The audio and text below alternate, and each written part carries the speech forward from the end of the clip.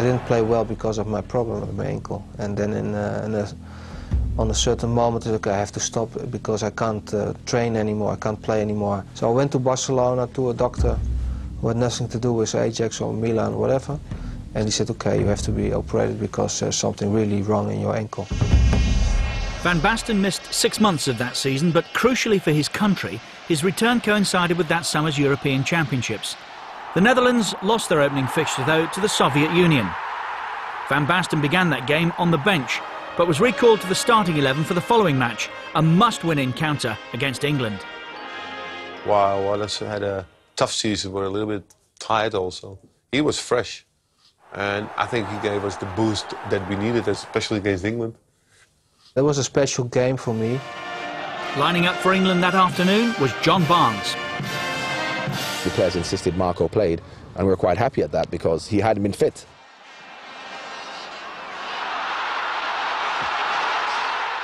We ruled that decision because he was just an incredible player, Marco van Basten. He was a complete footballer. Van Basten scored twice more, not so much a hat-trick as a statement of intent. The English were undone by a Dutch masterclass, one which ultimately led to a semi-final showdown with old rivals West Germany. For some, there were scores to settle. A lot of people in, in Holland, they didn't really forget the 74 World Champion finals. For them it was very important.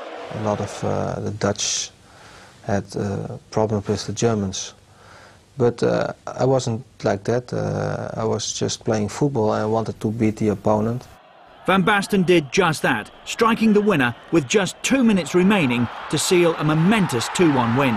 Everybody was happy uh, that we won against Germany. I was happy because we went to the final and that was something that was for me important.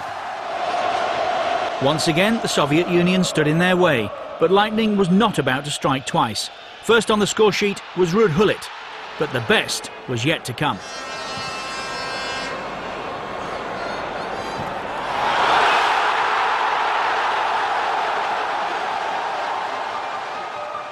Marco made something out of it that was, uh, yeah, something to remember.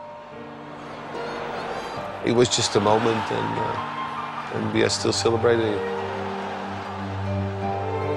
I jumped up in front of the television.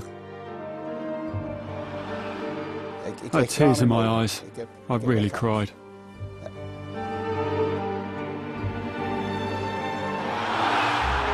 Dan staat je hart even stil natuurlijk. For a second, your heart simply stops and all you can hear is the crowd cheering. Hoe leuk dat is.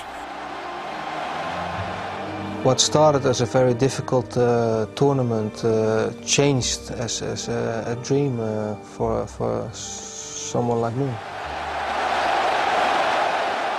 Nou, wat ik heel bijzonder Of course, I regard this one as very special, the win and becoming champions. Such moments become engraved in your memory.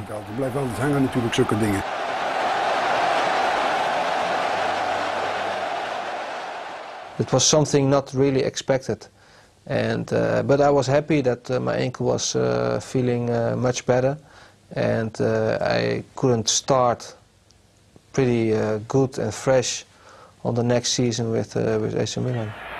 Van Basten had peaked internationally, but Milan went from strength to strength.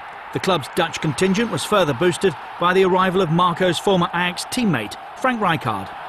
It was a great team, not only the, the Marco and Ruud, for instance, but uh, especially the Italian players. They were really down to earth, working uh, really very, very hard.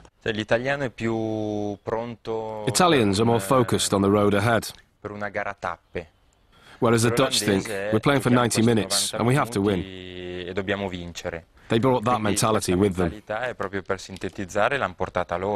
They were all good players, but not only good players, they were also good uh, persons because everybody wants to play football. They liked training and uh, they didn't really think about other things. They just want to be uh, a good player and winning a lot of things. It was a very strong group, a team who really knew their football. And we were a team which didn't rely on any one individual. That was significant too, as individually all our players were excellent. Milan now sought their destiny. Success in Europe was the minimal requirement, and the opportunity arrived in 1989 against Steaua Bucharest. When we went with the bus to the stadium, uh, we were crossing, I think, more than 95,000 Milan fans. And you all saw a sea of black and, and red. If you see all these people, all these crowd, that was very emotional. It was like a, a home game for us and uh, the sensation already after two, three minutes that, that uh, this was our game. That was a special uh, night. We played a fantastic game. From the first minute, we dominated the game, we played a very good game, all of us. We were moving on the pitch as a team. It was like a, an organism on the pitch and it was moving all together.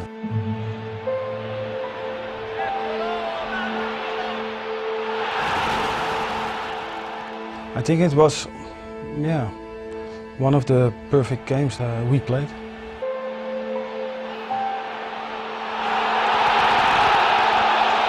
Van Basten and Gullit scored twice each. Milan had set a new standard in European football. It was a standard they maintained the following season in Vienna. Van Basten's pass set up Frank Rijkaard as Milan defended their title against Benfica. The Dutch were helping the Italians dominate Europe. The Rossoneri were inescapably the continent's best team, and Marco van Basten was hailed as Europe's finest player. I suppose the person who really pushed us forward was Van Basten, because of his ability in front of goal and the goals he scored. A really great player. I think he was excellent. Uh, I just did everything to give him the ball as, as much as possible. He was the most beautiful striker I've ever seen. He had an incredible elegance about him. He could do anything with the ball. He is and he was the, one of the best strikers in the, in the world. He could score goals in every possible way. Spectacular goals, tap-ins, individual goals. He was a complete footballer. It wasn't just about his goals. He was very quick. He was good one-on-one. -on -one. He was strong in the air. He had a great shot with either foot. It was hard to find a quality that he didn't possess. Off the pitch, he was a little less charismatic than Ruud. But on it, he was a lot more important and decisive. And all the players knew that.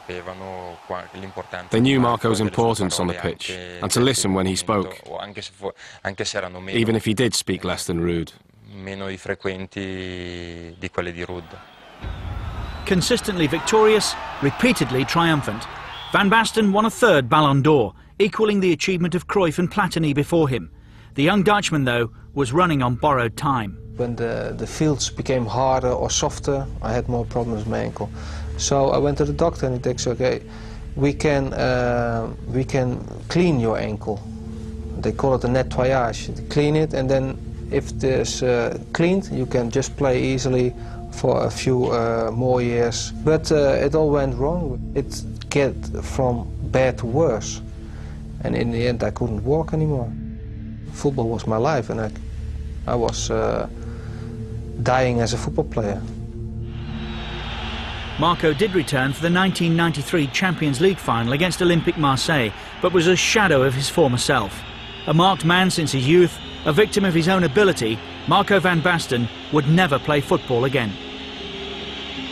All the cartilage was gone and uh, I worked and I uh, tried everything for two and a half years. He had to give it up, and that was really tough on him, which is understandable because he loved playing football. So, yes, it was over. It was all over. Uh, for about 10 years, uh, Marco van Basten was the best footballer in Europe.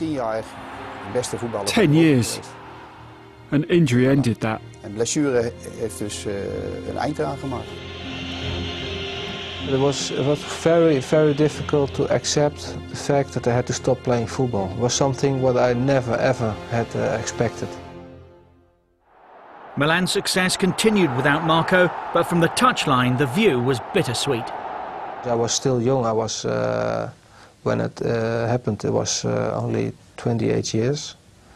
and I had uh, still so much uh, possibilities and will to uh, to show to all the people and to play football. I, it was it was a pity that I couldn't continue. That was something what is just bad luck. Van Basten moved into coaching with spells back at Ajax either side of a stint in charge of the national team. He also returned to UVV, where he opened their new stadium before donning their colours one last time. A pleasant reminder of an outstanding talent, a sad reminder of what might have been. I've always said Van Basten is the best player I ever played with, because he only had a few years to show his full talent. He won three Ballon d'Or, yet was only 28 when he retired. Most players have a little more time than that. Well, pride, the meaning of the word is clear, but it goes way beyond that. I had a son who was a top player. What else could you wish for? I was happy, and so was he. I played uh, 10 years professional uh, football and it was something uh, very special. Uh, I'm, I'm glad that I've uh, made it very well with Ajax and also with AC Milan. On the other side, it's a pity that uh, it, it, stopped already when I was uh, 28. So that was a pity, but in the end, uh, I was happy to uh, have had all these uh, nice experiences.